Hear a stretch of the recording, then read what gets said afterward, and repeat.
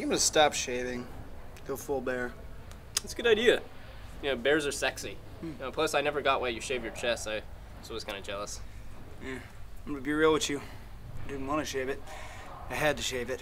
Dude, dudes don't have to shave their chests. Yeah, okay, maybe if you're like an uh, Olympic swimmer. Eh, there is one other reason. I can't imagine. I'm going gray, okay?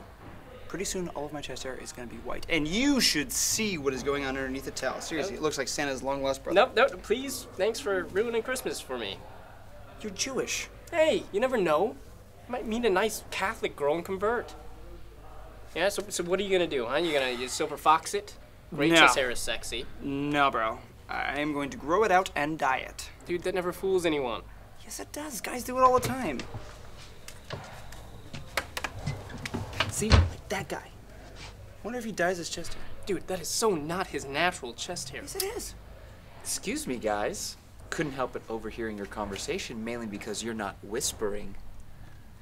Oh, he's right. Well, we were just uh, as two, you know, hairless men. we were we were talking about how sexy chest hair is and admiring your your chest full of robust hair. Oh, well, I'm naturally smooth, so. I told you it wasn't real. Oh, oh, this, this is embarrassing. This is my boyfriend's toupee. We just had a quickie in the jacuzzi, and it must have slipped off and gotten stuck. Dudes. Oh my god. Remind me never to use that jacuzzi again. Only if you promise to never refer to your junk as Santa Claus ever again. Oh, okay, I said it was his brother. Any member of the Claus family. Oh, oh, we just used that jacuzzi.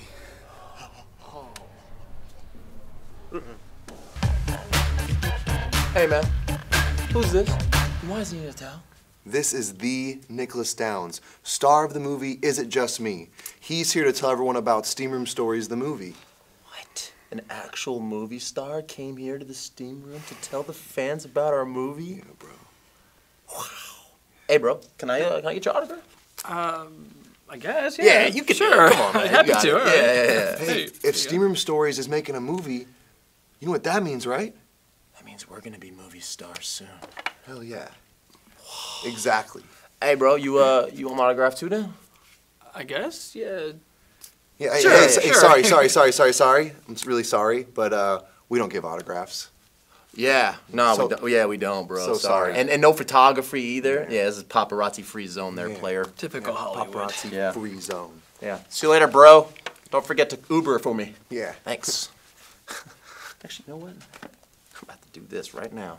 Yeah, yeah, get my agent on the phone. And give me somebody while I'm waiting. Come on. Hey, you don't you don't have an agent. Yeah, that's true.